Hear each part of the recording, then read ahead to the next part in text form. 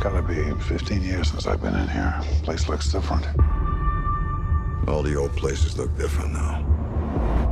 I'm the only one ever cared about you. And all of that ended an hour ago when you killed my son. I pulled the trigger. I killed Danny. I had to. He was gonna shoot Michael. I'm here asking for my son's life, Shawn. He's a good kid. He's got a family. He don't deserve this. You know this has to end. I'm coming after your boy with everything I got. And when it's done, and it will be done, then I'll let you die.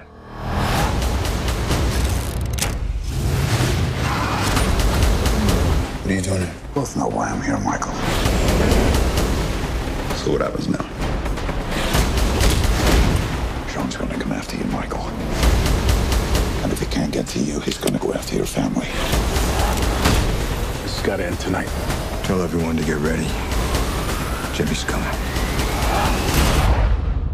Oh, Danny boy, the pipes, the pipes. Right now, we're the most wanted men in this city. From glen to glen and down the mountainside. I know how this works. They're gonna start pulling your life apart. I want people at his house. I want people at his wife's family's house. Anywhere he might run for help. And the cops, they've got their own motivation. You must go and I must buy. You've got to worry about staying alive. I'm the best chance you've got. Listen to your father for one night. One night.